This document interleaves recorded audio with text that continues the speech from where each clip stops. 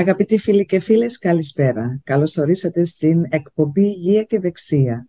Σήμερα φιλοξενούμε τον νευρολόγο Δ. Οδυσσέα Καριώτη και μαζί θα ολοκληρώσουμε την εκπομπή που αναφέρεται στην σκλήρινση κατά πλάκας. Καλησπέρα σας ε, κύριε Καριώτη.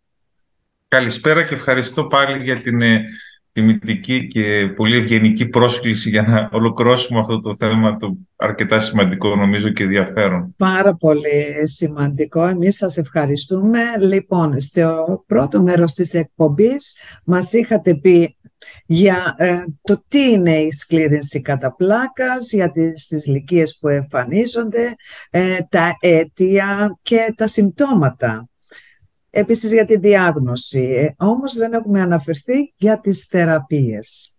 Τι θεραπείες λοιπόν υπάρχουν; Αυτό είναι το ευχάριστο κομμάτι ίσως της συζήτησης γιατί ε, τα τελευταία χρόνια έχουν γίνει πολλές ε, εξελίξεις θετικές όσον αφορά πάνω στις ε, θεραπείες της νόσου ε, με, με, συνέπεια να έχουμε τουλάχιστον πάνω από 10-15 καινούργιες θεραπείες και άλλες που έρχονται ακόμα και που πραγματικά έχει αλλάξει η φυσική πορεία της νόσου.